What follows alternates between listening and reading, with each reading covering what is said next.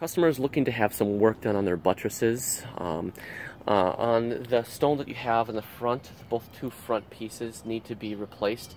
Um, we're just going to take some uh, thin veneer. We'll chip away what we can uh, so we can get some thin veneer on the in these guys in this particular place. And on the sides, the side joints here and here, we're going to clean them out and tuck point them. So uh, the size of those pieces are, you know, 8 by 6 in that general range. So, um, and then some general tuck pointing around on the sides of the buttresses.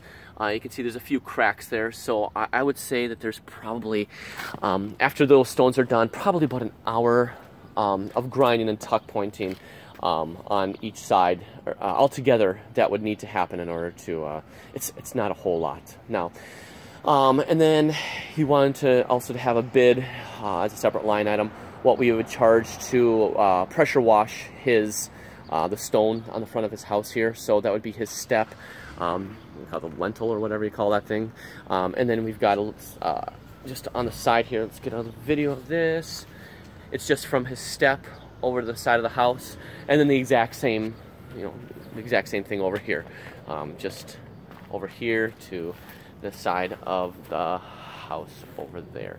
Um, now make sure that he understands that uh, if we pressure wash, if we pressure wash it, um, it's probably going to destroy the vines that are on there. So um, he's responsible for removing those vines um, for any pressure washing that has to happen. So straightforward, really easy. Um, not tuck pointing between the step and the buttress, um, though just so you know, the, the joints right here and right here, those uh, were not tuck pointing.